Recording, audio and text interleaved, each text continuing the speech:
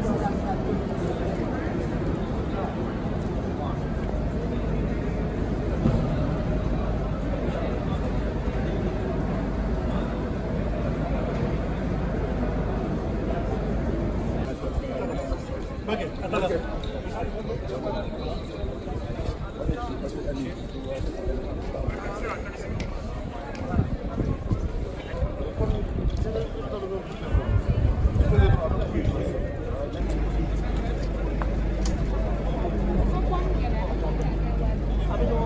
Thank